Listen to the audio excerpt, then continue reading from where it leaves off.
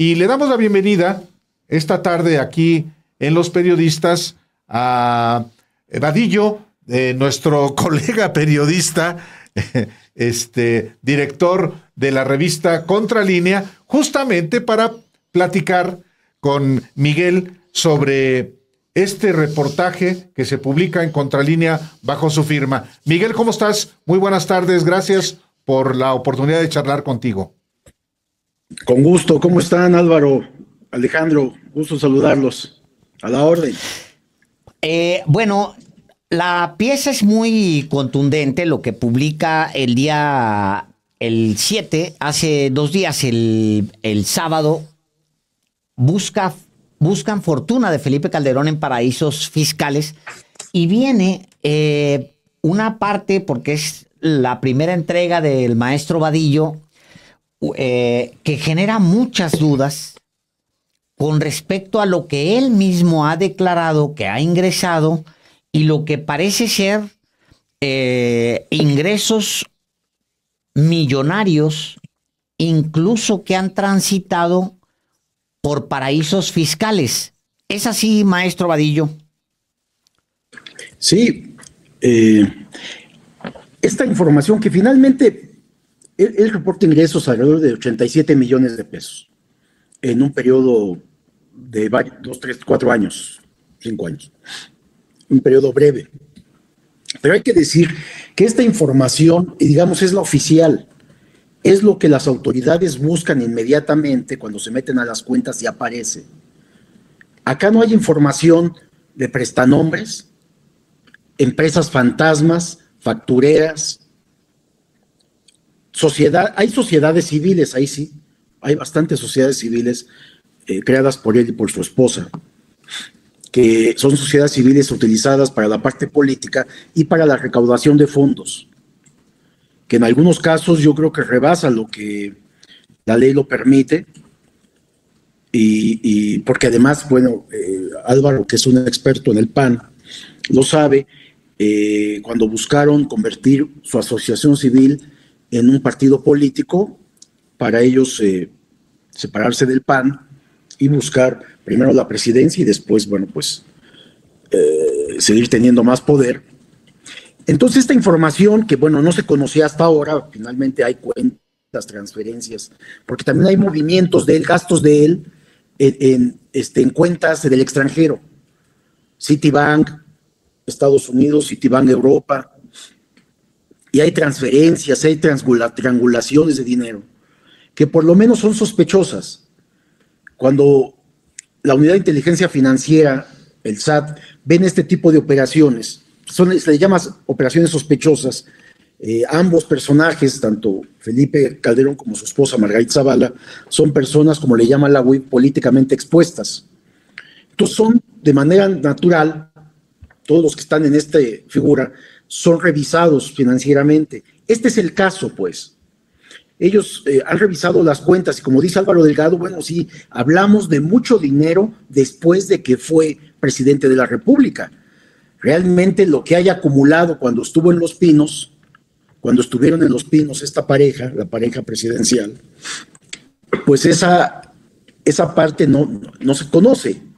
Realmente, eh, como lo ha dicho el presidente López Obrador, no está en su ánimo eh, y él ha, pedido que no se investigue, que no se siga investigaciones contra los expresidentes, de tal manera que no, eh, no sé si existan estos expedientes en las autoridades de este tipo de, de, información que puede ser la más relevante, y esta es solamente una parte de la fortuna acumulada, que sí da llama la atención, hablamos de ingresos, ingresos de 87 millones, luego operaciones y transferencias a, triangulaciones a cuentas en Europa, cuentas en Estados Unidos.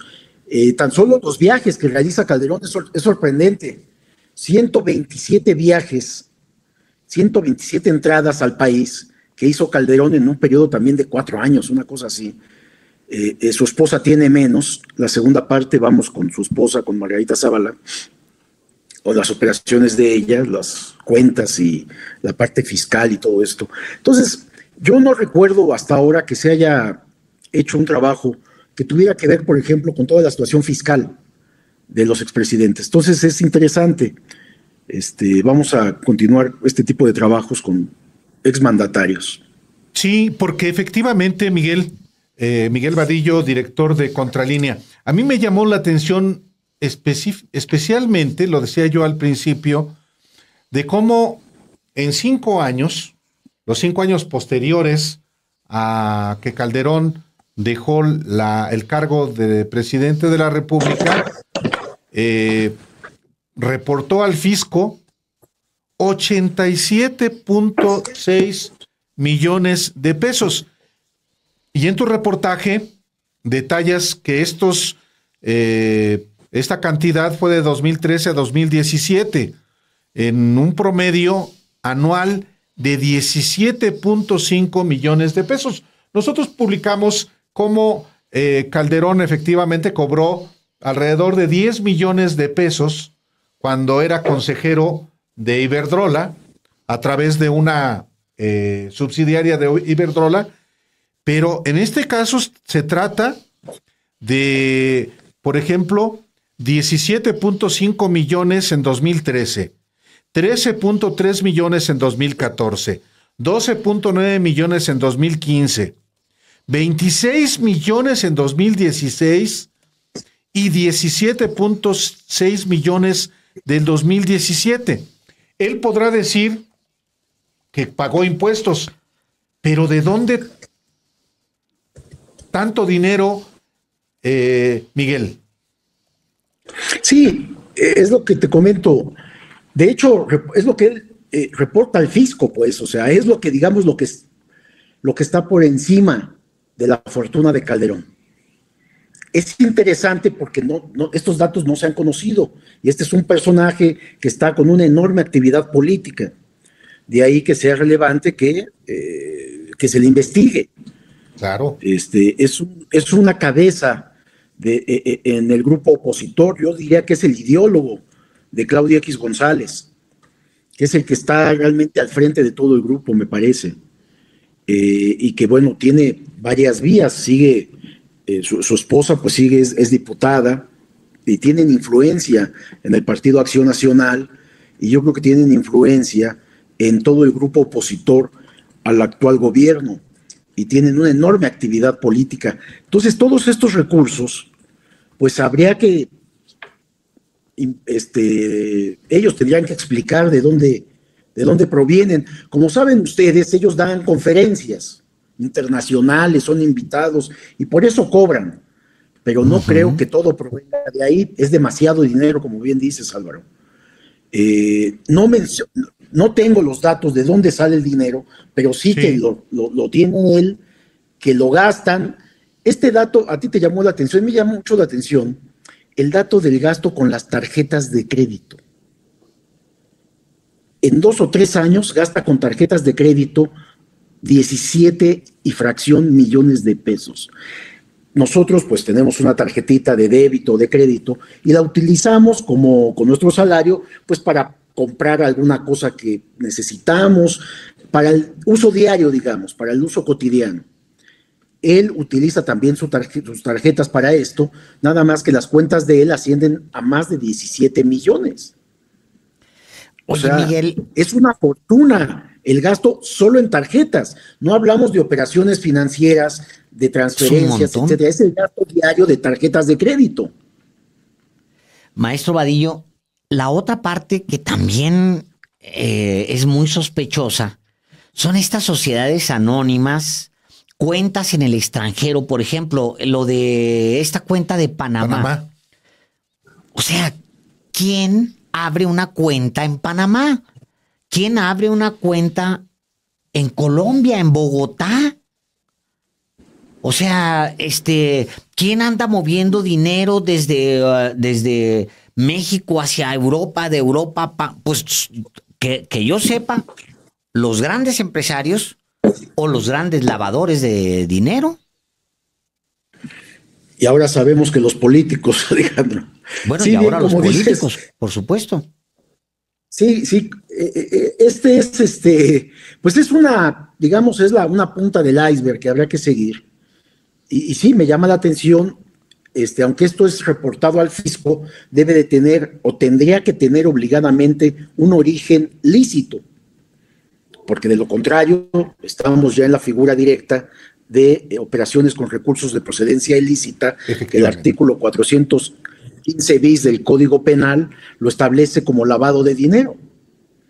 Este, pero bueno, yo no sé si haya realmente voluntad de la autoridad de las distintas autoridades, hablamos de, la UIF, del SAT, del CNI, de, Hacienda en general, este, por investigar a, fondo este tipo de datos, o, están solamente archivados y además, pues por el tiempo, en muchos casos prescriben, la parte fiscal va prescribiendo, como bien saben.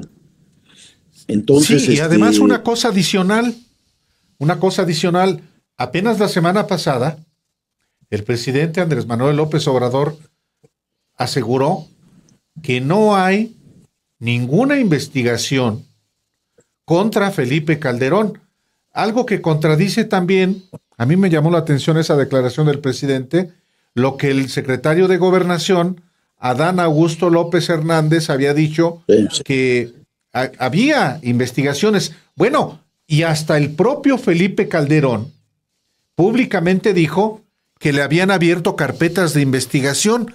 Entonces está extraño. Lo que sí es un hecho son las cuentas que tú publicas en Contralínea, Miguel.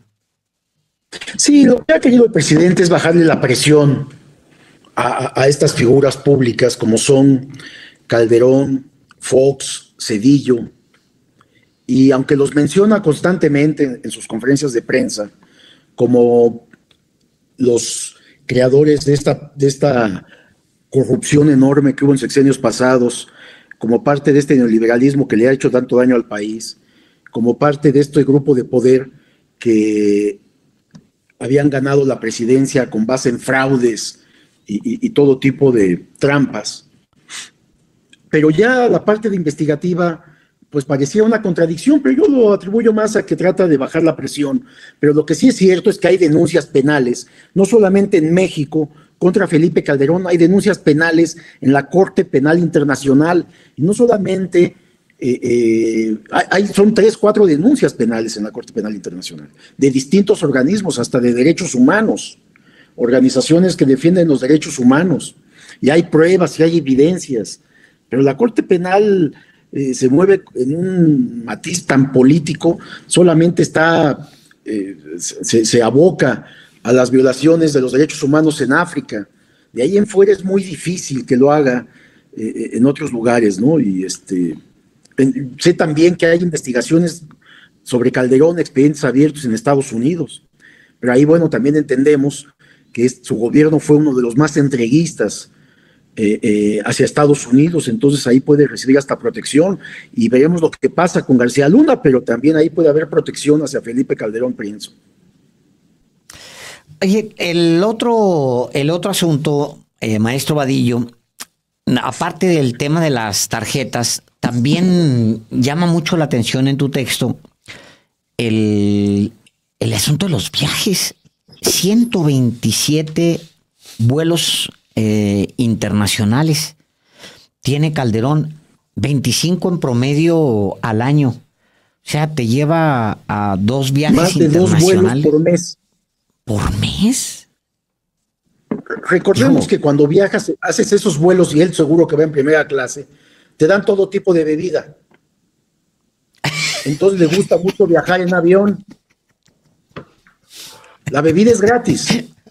no, bueno, pues sí. Entonces es un buen momento para relajarse de las presiones familiares, de las presiones políticas, olvidarse un poco del país, porque hacer más de dos vuelos por mes, pues sí es agotador, ¿no?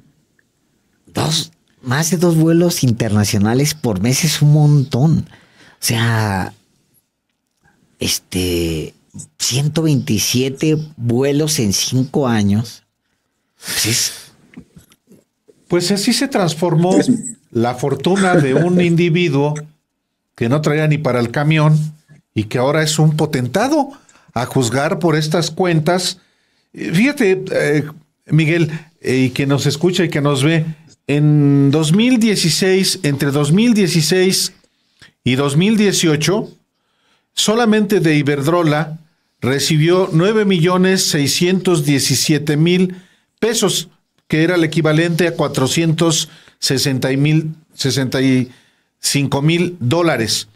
Pero uno pensaría, bueno, pues es un buen ingreso, pero las cifras que declaró al fisco son para mí inauditas y evidentemente eh, dudo que se las paguen por impartir conferencias.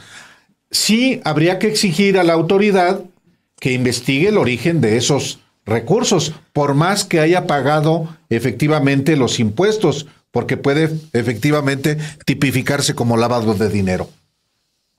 Sí, miren, a mí me decían, por ejemplo, que hay muchos prestanombres, pero necesitamos las evidencias pues sí. de, este, de estos movimientos que no son fáciles de conseguir. Precisamente por eso son prestanombres y por eso hay empresas fantasmas, empresas factureras, digo, porque están ocultas precisamente, entonces eso no es fácil. Estoy, estamos hablando de lo que es, digamos, público en el sentido que la autoridad se mete a las cuentas de cualquier persona y encuentra todo eso. Digamos, una revisión superficial arriba de la mesa de lo que hay. No se ha buscado, o no sé si lo tenga, alguien lo tenga, todo lo que hay abajo de la mesa, que esa me parece que debe de ser la enorme fortuna de todos los expresidentes. Fox, este, y la gran tarea de la autoridad. millones de dólares adicionales por los ingresos petroleros con Vicente Fox fue aquel disparo en los precios del petróleo brutal. ¿Qué hicieron con tanto dinero? Seguramente repartieron algo a los gobiernos estatales porque eso es por ley, etcétera, etcétera. Pero mucho dinero y no se sabe de todo eso. Obviamente hay mucho, los periodistas tenemos mucho que investigar todavía, pero a mí me llama un dato de esto de lo de Felipe Calderón que les voy a comentar. Eh, por ejemplo, esto de los movimientos financieros, destacan 26 transferencias internacionales que hizo entre 2013 y 2020, en 6, 7 años. Entonces, desde sus cuentas en Citibank, Estados Unidos, por 16.6 millones de pesos. Eh, transferencias de dinero vía Pay en dos años, 2016-2018, por 4 millones, Citibank Europa. Y, este tipo de operaciones, que es un movimiento de dinero pues muy importante, yo supongo que ya tiene que ver con propiedades que debe de haber y debe de tener eh, eh, eh, en Europa, en España, como sabemos, pues está buscando ya urgentemente la nacionalización ante lo que pueda declarar precisamente García Luna, este, o no sé si ya pactaron o, o si García Luna va a buscar su libertad o la disminución de su pena, porque como bien dice Álvaro, todavía no empieza el juicio, pero bueno, la autoridad estadounidense lo tiene bien agarrado. Hay muchas declaraciones de narcotraficantes que señalan a García Luna como que el recolector del dinero eh, de este gobierno, del gobierno panista de Felipe Calderón. Y es imposible imaginar, imposible que Felipe Calderón no supiera de todas las operaciones de corrupción de, de, su secretario de Seguridad Pública, que además realmente gobernaban este país. Así es. Pues sí, mm, es muy sorprendente. 17 millones 371 mil pesos eh, gastados entre 2017 y 2020 en tarjetas de crédito. Es. extraño. Mm, mínimo es extraño. 17 millones. ¿Qué compras con tarjetas de crédito? ¿Qué compras con este, pues, tarjetas de crédito? Pues Elena, por lo que veo aquí un palacio vas a, vas a comer y pagas en el restaurante. O, cómo, cómo le hace para gastar tal ropa. ¿Verdad? Algo que pues sí. tú te imaginas, pues a lo mejor me gasto, si gano bien, un millón en tres años. Estamos hablando de, más de 17 millones. Es muchísimo dinero. Muchísimo. mucho, mucho dinero. Miguel Vadillo, como siempre, muchas gracias y vamos a darle seguimiento por supuesto, a este asunto. Era importante que lo eh, platicaras con el auditorio de los periodistas de esto, de esta información muy relevante en la revista Contralínea que tú diriges y que se publica justamente el día en que en los hechos inicia el juicio a Genaro García Luna. Bueno, eso sí es premeditado, mi estimado Álvaro. Eso sí. La oportunidad de la información es planeada. Claro. Estamos en la parte editorial, sabemos que las cosas se planean, esto coincidió muy bien. Entonces, este, mañana continuamos, vamos con el caso de Margarita Zavala, todas las operaciones, y vamos a hablar precisamente, porque este es un dato muy relevante, de las asociaciones civiles. Ándale. Muchas asociaciones que no se conocen y muchas de las cuales son para apoyo político y para recaudar dinero. Entonces, para saber qué se hace con ese dinero y a dónde se va. Les agradezco mucho. ¿Mañana lo publicas, Miguel? Mañana voy con la segunda parte y, está la tercera parte. Ah, creo que ya está la segunda parte en, ya está en la página, me están informando en línea. Perfecto. Este, y vamos con la tercera parte pasado mañana. Es correcto. Está publicada ahora mismo. No estaba, se acaba de publicar a las 7 de la tarde. Sí, es por la Para, para que usted eh, la busque. Dice Margarita Zavala reporta ingresos fiscales por 6.3 millones de pesos. Eso es lo que dice la cabeza. Ya está el texto, si usted quiere leerlo, está en contralinea.com.mx, es la nota principal ahora mismo. Miguel, muchas gracias. Les mando un abrazo. Hasta luego. Hasta luego. Gracias.